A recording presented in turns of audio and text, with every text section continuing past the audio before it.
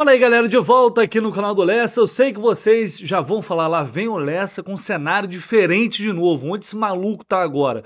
Eu tô, como vocês sabem, eu tô de férias na Rádio Globo, na Rádio CBN, então eu tô aproveitando para dar uma relaxada, uma descansada nesses dias que antecedem a grande final da semana que vem, porque, meu amigo, a partir de principalmente terça-feira, né? Porque terça-feira ainda tem esse jogo aí da, do Campeonato Brasileiro contra o Bahia.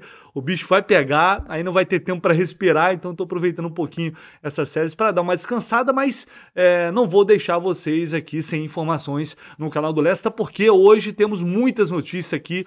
É, apurei algumas informações sobre tabela de campeonato brasileiro, John Kennedy, é, também em relação a uma visita, mais uma do Fluminense à CBF. Temos muitas notícias importantes e eu vou trazer aqui para vocês, inclusive em relação ao telão de Laranjeiras. Tem muita gente perguntando, querendo saber se vai ter telão, se não vai ter. Enfim, vou trazer mais informações para vocês, mas já pedindo aquela moral no like, se inscrever aqui no canal do Lessa, que é muito importante. E também, ah, Lessa, eu gosto muito do seu canal, seu trabalho é muito legal, estou sempre aqui. Então, para você apoiar apoiar ainda mais o meu trabalho, vai aqui na PagBet, vou deixar aqui no comentário fixado o link para a PagBet, que é uma grande parceira aqui do canal do Lessa.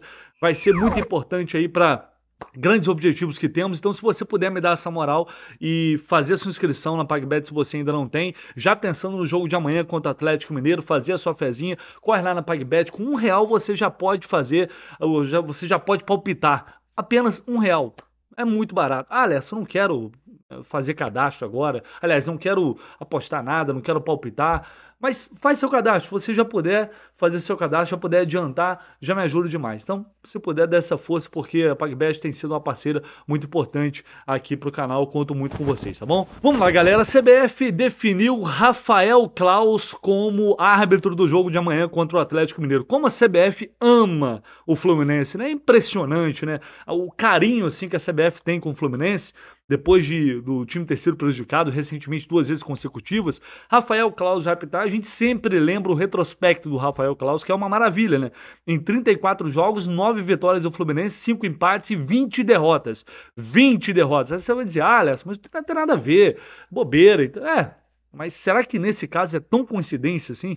Será que é apenas coincidência? Porque é impressionante.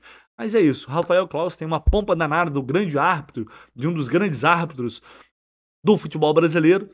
E a gente sabe que o desempenho está longe disso. Mas ele será o árbitro de Atlético Mineiro e Fluminense amanhã na Arena MRV. E sobre é, o time, eu já vou adiantar para vocês que o John Kennedy está à disposição do técnico Fernando Diniz e ele só não vai para o jogo se o Diniz não quiser. Ele está liberado é, já pode retornar à equipe, então a tendência é de que ele viaje e fique à disposição para esse jogo contra o Atlético, até porque ele ficou fora dos últimos dois, então seria até bom jogar para pegar um pouco de ritmo pensando na final. Sabemos que Ganso e Cano estão fora desse jogo contra o Atlético Mineiro, estão suspensos, então certamente teremos um time bastante modificado, é, mesmo daqui eu vou tentar apurar alguma coisa em relação à provável escalação do Fluminense, mas a tendência é de que a gente tenha um misto frio aí para esse jogo contra o Atlético. Acho que poucos titulares vão estar em campo, mas vamos aguardar essa confirmação. Fato é que o John Kennedy está liberado para voltar ao time. A escalação dele vai depender apenas do técnico Fernando Diniz. E como o Cano não vai jogar,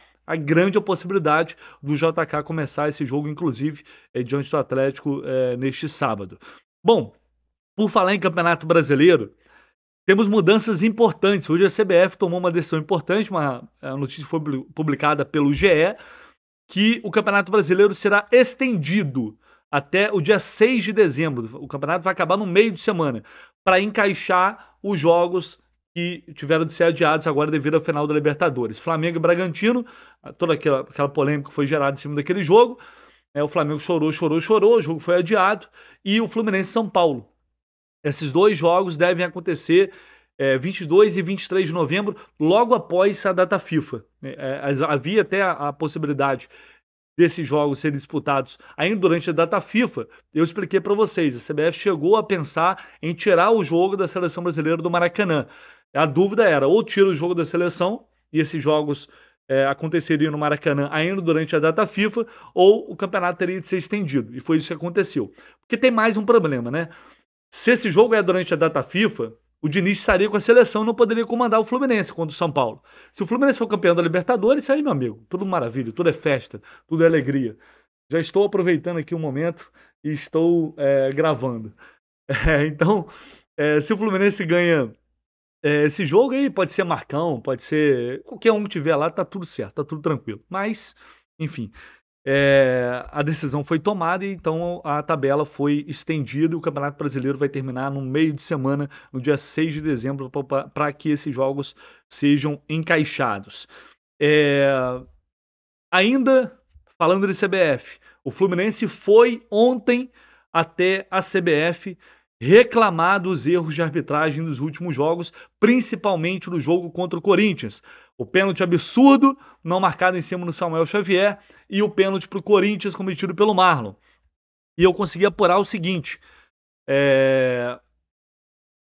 a CBF ela considerou que de fato houve uma reunião com o CNM. Eu não sei é, exatamente quem foi representar o Fluminense, se foi o próprio presidente Mário Bittencourt, se ele também estava ou não. Mas a reunião foi com o CNM. E o CNM admitiu que houve erro da arbitragem ao não marcar o pênalti do Samuel Xavier, no Samuel Xavier, que houve o erro crasso do VAR. O CNM admitiu isso. O lance do Marlon, o pênalti que o Marlon fez, ele disse que é interpretativo, né, que é um lance que poderia ou não ser, dependendo da interpretação do árbitro. Aí eu vou dizer o seguinte: é um lance que, para mim, até no primeiro momento, gerou dúvida. Então, o árbitro marcar em campo, eu não acho absurdo, tá? Não acho absurdo. O que eu acho absurdo é o VAR não intervir, porque depois ficou muito claro que não tinha carga. Porém, se houvesse critério aqui no Brasil, seria correto também a gente admitir que o VAR ele ele está ali para corrigir erros absurdos, como foi do Samuel Xavier. Esse lance é interpretativo. Então, dá para aceitar o VAR não intervir, desde que houvesse critério. Só que não há critério no futebol brasileiro. O problema é esse. Né? Uma hora eles resolvem intervir, outra hora eles não, eles, não, eles não entram em ação, o VAR não chama. Então esse é o grande problema do futebol brasileiro. Fato é que o Fluminense foi reclamar dos erros e também da partida contra é, o, o, Bragantino, na sequência, quando o Fluminense também foi, foi prejudicado. É, o CNM ouviu as queixas do Fluminense, né? mais uma vez, não é a primeira vez que isso acontece, e prometeu que, enfim, vai fazer o possível para que é, erros desse tipo não sejam cometidos, apesar disso ser, obviamente, uma, uma ilusão, né? A gente sabe que vão acontecer e vão continuar acontecendo. Mas o Fluminense, mais uma vez, foi até a CBF questionar esses erros de arbitragem. E, convenhamos, não tem muito o que fazer além disso, né? É o que dá para fazer diante de tantos absurdos. E para fechar aqui, galera, uma informação sobre telão nas Laranjeiras. Então, é, de fato, o Fluminense pediu e a Comebol tende a não aceitar o pedido do Fluminense. Por uma série de questões que envolvem patrocinadores, é porque a Comebol chega e manda na cidade. Essa é a realidade, né? Todo mundo se submete a isso, ninguém questiona nada.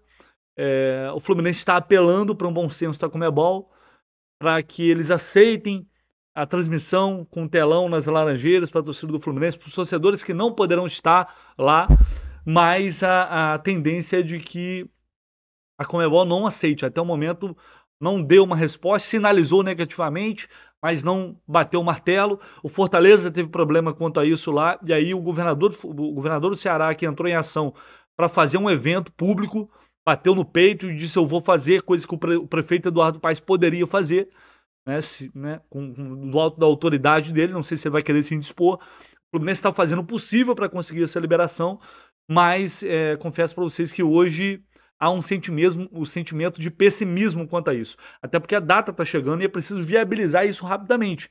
Já está demorando, já está muito em cima. Então o clube segue tentando sensibilizar a Comebol para ter essa autorização, mas neste momento é, não há uma expectativa positiva em relação a isso. Lá atrás já tinha informado para vocês que o Fluminense já tinha entrado em contato e que precisava dessa autorização da Comebol. Sendo que o Fluminense fez isso em diversos jogos da Libertadores. Né? Aí na final não pode. Enfim. É como é bom, meus amigos. É muito complicado. Tomara que o Fluminense consiga essa liberação ou tomara que a prefeitura encontre um jeito de fazer um, um evento público é, para o dia do jogo com a transmissão da partida. Vamos ver o que vai acontecer. Qualquer atualização eu volto para trazer aqui para vocês e amanhã vai ter pré-jogo aqui no canal do Lessa normalmente, beleza? Tamo junto. Não esquece de deixar o like, se inscrever aqui no canal do Lessa, deixar seu comentário também que é sempre muito bem-vindo e claro, dá aquela moral no cadastro aqui da PagBet, dá essa força aí porque é muito importante para mim. Tamo junto, um abraço.